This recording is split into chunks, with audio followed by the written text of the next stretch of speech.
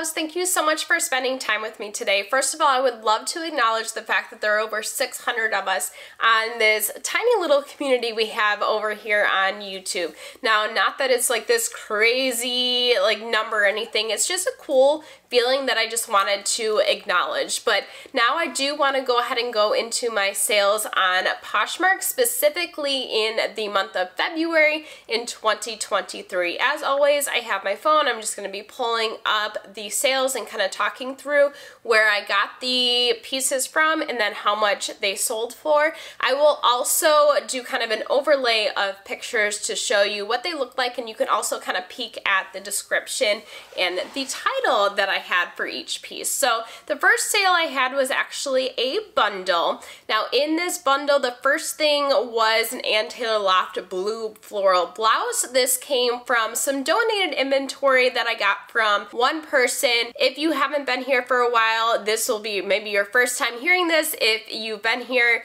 you know anytime I have loft, it is almost always from that donated inventory. I have been working with someone for well over a year now, and every time they clean out their closet, they call me up, I go pick up a, a, huge haul and make money off of it. So this piece, this loft piece, was one of those pieces that was donated. The second piece in this bundle was an Orlane Women's Beach cover-up. This was an Amazon piece. I got a Amazon palette from QuickLotz more than a year ago, like almost two years ago. At this point, my cost of goods was 50 cents and I you know, almost five times my money on that palette at this point. This particular piece sold for $18, but it was in a bundle and there was a shipping discount on it as well. So those two pieces together, I got $10.05. But again, one was free, one was a 50 cent cost of goods, but I made so much money on that palette, it almost feels like it's free at this point. I don't think QuickLotz has that palette anymore. QuickLotz has kind of made a little bit of a turn in their journey that they are, you know, making more of their own sales now, but at the time of getting this, they were pretty big into palettes and then also their like mystery fashion boxes as well. This next piece also came from that Amazon palette. This was an Under Armour mock neck long sleeve shirt. This sold for $10, no shipping discount, so that gave me $7.05 of profit. Again, my cost of goods on that was about 50 cents. Moving on to February 4th, I sold a pair of Nine West pants, like dress pants. These came from a thredUP rescue box with a cost of goods of roughly $2, just under $2 in reality. They sold for $8, no shipping discount, so that gave me $5.05 of profit. And then of course, having to take that approximately $2 cost of goods out of it. Now, I am somebody that doesn't look at my profit per item piece by piece by piece. I just pay attention to how much I spend per month and then how much I make per month and make sure that obviously how much I make is more than how much I spend. There's a lot of people that look item by item by item. As I'm getting higher uh, ASP prices, I'm starting to pay attention to what's selling, but this stuff that I have just hanging out in my closet, in my storage, I'm really just trying to get out and I'm not trying to really focus on what's selling because I know I'm not going to be researching to pick up these pieces anymore. So it kind of depends on your own process. If you want to pick up other pieces that are going to be making money, yes, you want to look piece by piece. But if you're just trying to get rid of stuff, I don't know. That's how I do it. I don't look piece by piece. I just make sure that I'm making a profit. This next piece that sold, I actually sold two Squishmallows in one bundle because one of these pieces is a little bit more exclusive and hard to find than the other. And I thought maybe pairing them together would help move a sale a little bit quicker. It seemed like all the listings that I was looking at to compare to kind of thought the same thing as well. So this was a Pikachu and Gengar Squishmallow pair. These were the smaller size. They were $16 each. Together they sold for $63 and there was no shipping discount, so that gave me $50.40 and then having to pay out the $32 to my mom because this did come from my mom. She uh, kind of, she works in Targets and different things and she spends a lot of time paying attention to what resellers are picking up in retail arbitrage and then she will just take pictures and say, hey, go ahead and put this up really quick and I do and she does all the shipping, all of the thinking and processing through it so it's a pretty cool, you know, deal it works out for me. I primarily just focus on clothes, but you know, when things like this come through and she sends me things, I am happy to make money off of it. This next piece came from a Flyp lot. I do have a couple of Flyp lots that I'm working with and this one was a spiritual gangster cropped shirt. This sold for $18 with no shipping discount. That gave me $14.40 of profit. And then I did have to split approximately 50% with the client as well. You know, Flyp is, is good because you, if things don't sell, you can just go ahead and send them right back. Sometimes people want them donated. So it's, it's really a low cost of goods or I don't know, free inventory if you think about it, but you do end up having to pay out. So it's almost like you still have a cost of goods, but if it doesn't sell, you don't have to eat the cost. So if you are somebody who's just getting started and you don't have a lot of money to start up, I do recommend checking out Flyp. I do have a link in the description. That's not what this is about though, but you you can get some inventory and kind of think outside the box if you are just starting up. This next piece that sold came from that free inventory that was donated. This was an Athleta gray uh, dress. This sold for $35. There was no shipping discount, so that gave be $28 of complete profit in my pocket because it was free. Now this next piece also came from my mom, so it was retail arbitrage. It was the 20 inch, same characters, the Pokemon Squishmallows, the Jeng Jengar, Jenger, I think is what it was, and Pikachu. These sold for $152. Mm, let me check how much, what my cost of goods on that was. Let me check. So these were $46 each that I ended up paying out to my mom. Um, so let's do some quick math. 46 times 2 is 92. I paid out to my mom. The after platform fees, I got 121.60. So I didn't make a killing on those, but I definitely made money and I really didn't do any work. I just put the pictures up, found a description from an item that sold similar, and you know, it was really about, oh, one minute worth of work. This next sale was for St. Patrick's Day without a doubt. Even the buyer did provide some feedback, like a five-star feedback and said, I appreciate it's just as described. I can't wait to wear it on St. Patrick's Day. So with that said, both pieces are green here in this bundle. The first one was a Loft Lime Green tank top. This, of course, came from the free inventory. The other piece was a baseball cap that said Smart Good Looking Irish. That came from the Amazon palette that my cost of goods was about 50 cents. So together, these sold for $20 was my profit on those, and they were things out of my house that I wasn't going to use, I was just going to make money off of. This next piece came from a thredUP rescue box with a cost of goods of roughly $2 as I said before. This was a J. Jill linen shirt. It sold for $15 with no shipping discount, so that gave me $12 of profit and then taking out my approximate $2 cost of goods. This next sale comes with a little bit of a story. I, in the month of February, January, and quite honestly, uh, until this point in March, I've been a little bit lazy in reselling and I've only been shipping a couple of times a week and I really haven't listed anything new. I've just been kind of on autopilot. In January, I was out of town like every weekend and I went on a week-long cruise as well. So I didn't do anything then. In February, I just hadn't gotten back into things to be completely honest. I you know, was doing other things. I really don't have an excuse other than, you know, this is a part-time gig and it's extra money and I'm not really dependent on it. So if I'm not making money, it's my own fault and, you know, I'm okay with that. But the story with this one is it was actually accepted and I, I got a five star rating. Uh, so I was, you know, wasn't really paying attention. I was just, okay, it's accepted, five star rating. Well, a week later, the buyer reached out and said, um, are you going to ship this item? And I said, it was accepted and I got a rating. Like, I thought it was some kind of they were trying to play a scam or something. And their response was like, you know, first, you know that you did not send this. I accidentally accepted the piece thinking that it was another order. And I was like, oh no, whoops.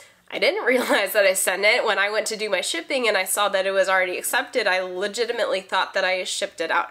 So at that time, I apologized and I said, okay, I'm going to get a new label because the label wasn't showing on the screen anymore, I did end up having to go to my email, which I don't usually do. I usually just re-download it again and I sent it out. I really wasn't worried about this sale, to be honest. That's probably why I didn't even realize that I sent it because these Gap shorts sold for a whopping $5 with a shipping discount. So after platform fees, I got mm, 33 cents from them. Now these did come from the free inventory, the person that I got clothes donated from. But 33 cents, uh, yeah, I'm sure you can agree with me that you wouldn't be worried about that sale either. We are now on February 19th. On this date, I sold a pair of Everlane black pants. These came from a flip flop that I bought out with a cost of goods of $4.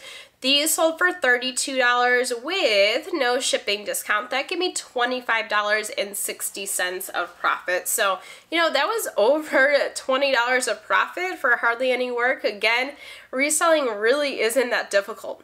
Buy low, sell high, make money. Also on the 19th, I sold a Loft Women's Pink blouse. This came, of course, from the free inventory. It sold for $24 with no shipping discount.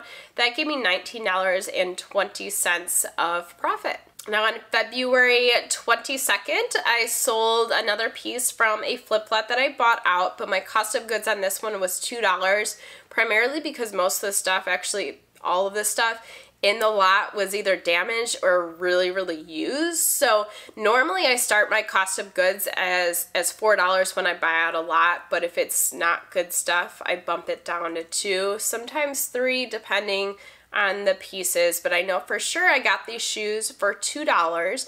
These were a pair of Guess Espadrille lace-up suede shoes. They ended up selling for $20 with no shipping discount. That gave me $16 after platform fees and then $14 after taking out that $2 cost of goods. This next piece is another one from a Flyp lot. It was a pair of men's jeans 8 732 jeans. These were damaged on the bottom. There was a bunch of like dragging marks and quite honestly holes. So I was a little bit weary about these selling and I was a little bit nervous that something was going to go wrong and they didn't realize the damage. It was in the description, it wasn't the pictures, but you know when there's always when there's damage, you're always just a little bit worried that people are going to open a case. They didn't in this in this case. They did provide a, a five-star rating. These did though sell for $32 with no shipping discount. That gave me $25.60 of profit and then because they were from a flip flat, I did have to split approximately 50% on those profits. This next one also came from a flip flat but one that I bought out for a $4 cost of goods. It was an all in favor uh, pink dress. This ended up selling for $15 with no shipping discount so that gave me $12 of profit and then taking out that approximate, or not, not approximate, the $4 cost of goods. And the 26th, another sale from Flip Flots. This was a bundle from two different Flip Flots, both the one with the cost of goods of $4 and one with the cost of goods of $3, so $7 total. The first piece was in Articles of Society jeans. These were size 26. The next piece was Rag and Bone uh, capri white pants. They were also size 26. You know, go figure, somebody getting a bundle the same size, it makes sense.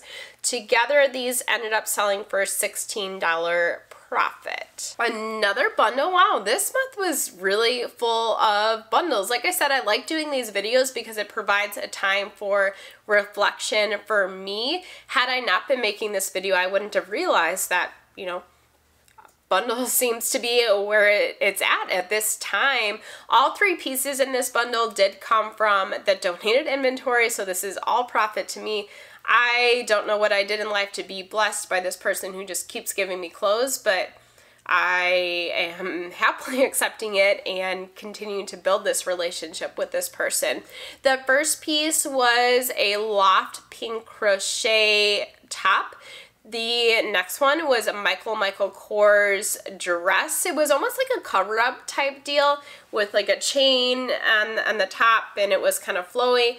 The last piece was also Michael Michael Kors. It was a white off-the-shoulder blouse. The first two pieces were new with tag. The Michael Michael Kors dress cover-up situation was basically brand new. Like all of these clothes that I'm getting from this person either have their tags on them or she took really good care. She dry cleans everything or just keeps everything in excellent condition. So I was pretty excited to see that come through. I'm sure that, that the buyer was excited because they did get things at a discount.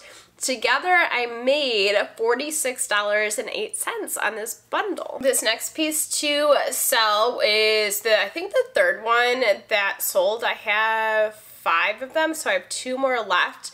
This was a Lovetex Home Easter basket. It was a white one. This one sold for $13 with no shipping discount. That gave $10.05 a profit.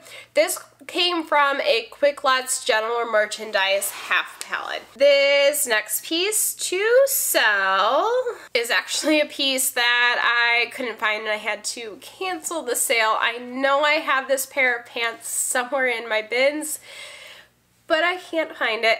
Uh, mm, I have a number system. I have everything in chronological order. It just, this pair of pants was not where it was supposed to be. Sometimes if that happens, you know, I'll check back on my sold listings on all the platforms to see if I just accidentally forgot to delist it when it did sell. It, I didn't sell this pair of pants before. It was an Athleta pair of pants. Pretty sure these came from a Flyp lot. Um, the Athleta pants sold for $27, so it would have been a pretty good sale, but I had to cancel. That's just the reality of things. Now, I could have went through every single bin looking piece by piece by piece to try to find it. That's probably what I should have done, but I didn't. Uh, like I said, I've kind of just have been pretty lazy about reselling lately and I instead chose to cancel the sale. Now, had this been on eBay when it really matters when you cancel a sale, I may have looked a little bit harder, but on Poshmark there doesn't seem to be much of a penalty if you cancel a sale, so I felt bad. I the buyer wasn't able to get their pants, but in terms of the algorithm, I don't think it has a huge impact on whether I am seen as a top seller or not. So I canceled. I did look, you know, multiple times to think it was like number 969 or something like that.